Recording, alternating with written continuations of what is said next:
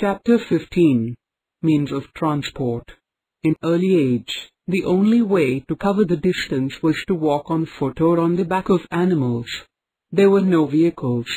The invention of wheel brought out major changes in transport system. As the time passed, people improved the wheel to fit in various carts and wheels. This effort of inventors developed fast-moving means of transport we see around us today. Today, traveling has come a long way. These days we travel from one place to another in very less time. There are four important means of transport in India. 1. Roadways 2. Railways 3. Waterways 4. Airways Roadways India has a very wide network of roads. They link almost every village, town and city in our country. The Grand Trunk Road is one of the oldest and largest major roads. It was built by Emperor Sher Shah Suri in 1542. We have two types of roads, Kaccha roads and Pakka roads. Kaccha roads are unmetalled roads and Pakka roads are metalled with tar. The roads in the cities are metalled. National highways The national highways connect different states and cities all over the country. There are seven national highways in India. The NH1 National Highway 1 links New Delhi to the town of Atari in Punjab. The National Highways Authority of Indian High is responsible for the maintenance and management of national highways in India. State Highways State highways connect important towns within a state.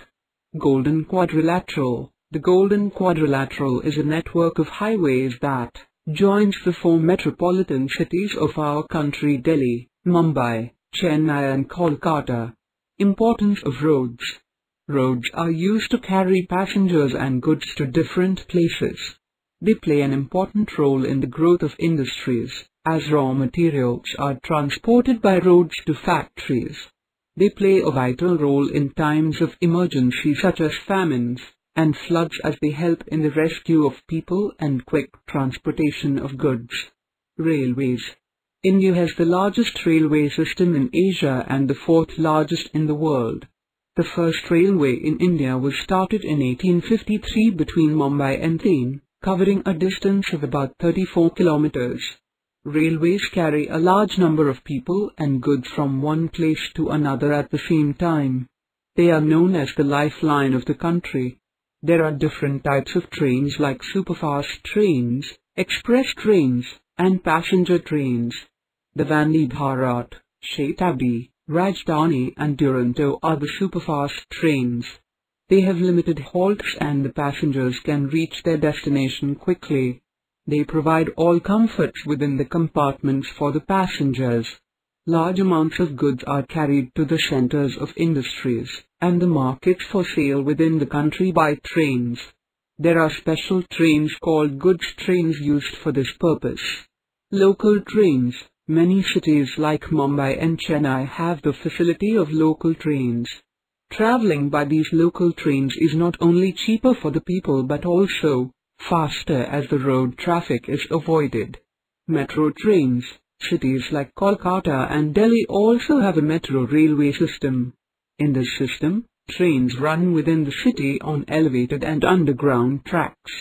Waterways. The waterways are the oldest means of transport in the world. Boats, ships and steamers are the main means of water transport. It is the cheapest means of transport. Passenger ships carry people, while big cargo ships are used to carry goods from one place to another. Tanker ships are used to carry oil and other petroleum products from one place to another. Some rivers like the Brahmaputra, Hooghly and the lagoons of Kerala are suitable for water transport in India. The Sundarban Delta in West Bengal has many waterways. There are 12 major ports and 187 minor ports along the coastline of India. Mumbai is one of the oldest and most important port of India. The other big seaports in India are at Visakhapatnam, Kochi, Kolkata, Chennai, etc. Airways.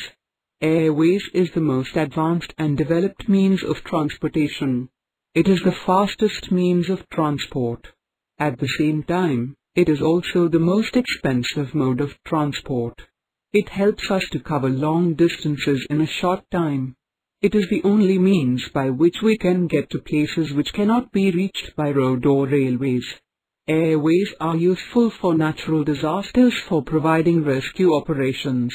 An airport is a place where flights take off and land. Some of the important airports are Chhatrapati Shivaji Airport at Mumbai, Indira Gandhi International Airport at Delhi, Subhash Chandra International Airport at Kolkata, and Chennai International Airport at Chennai. Airlines are the companies that provide air travel facilities. They are of two types domestic and international. Domestic airlines carry people and things within the country. International airlines carry people from one country to another. In India, the government airline is Air India. There are private airlines like Air Asia, Air India, Akasa Air, Indigo, SpiceJet, Go Air, etc. which also operate domestic and international